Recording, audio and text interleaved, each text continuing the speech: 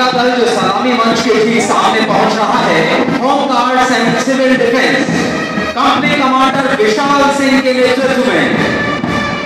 पहले प्लाटून का नेतृत्व कर रहे हैं हरीश। दूसरी प्लाटून का commander Faisal Malik DCP Delhi civil defence और तीसरी प्लाटून जो इस समय मंच के करीब पहुँच रही है, वो नेतृत्व दे रही है चारुल शर्मा तेज़ी से मुख्य अतिथि के सामने से सलामी देकर गुजर रहे हैं। सिविल डिफेंस एवं होम गार्ड का ये दल।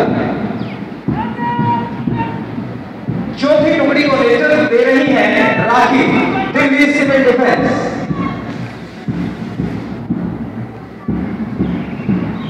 निष्काम सेवा जिनका नारा है। दिल्ली फायर सर्विस दिल्ली अग्निशमन सेवा कंपनी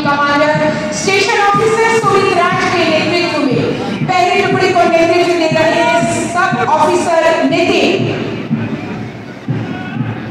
आकर्षक वेशभूषा में सुसज्जित दिल्ली फायर सर्विस की दूसरी टुकड़ी को नेतृत्व